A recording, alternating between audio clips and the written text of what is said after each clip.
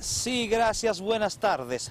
Desde las 4 de la madrugada, los organismos se reunieron en esta fortaleza patria, donde coordinaron las acciones que realizaron en las diferentes comunidades donde se realizó este operativo. La llegada de los organismos al paraje del convento aparentemente había sido alertada y allí se encontraron unos pocos nacionales haitianos cuya zona es de las de mayor concentración de extranjeros en este municipio. Cerca de 50 indocumentados fueron apresados en el convento y la culata.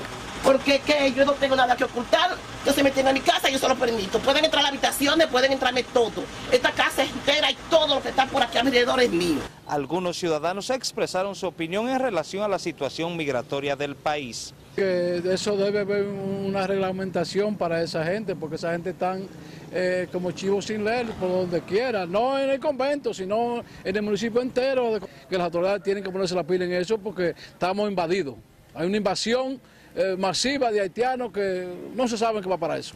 Es lamentable de que esta gente nos están invadiendo, porque se están haciendo propio de esto, de ellos, que hagan su trabajo, porque esta gente no van a invadir. Mira cuántas cuántas violaciones, cuántos robos, cuántos atracos están haciendo esta gente. La población también sugiere a la Dirección General de Migración que las acciones sean constantes y efectivas, y no solo por presión a través de los medios de comunicación. Es todo por el momento. Ahora regreso con ustedes al Centro de Noticias.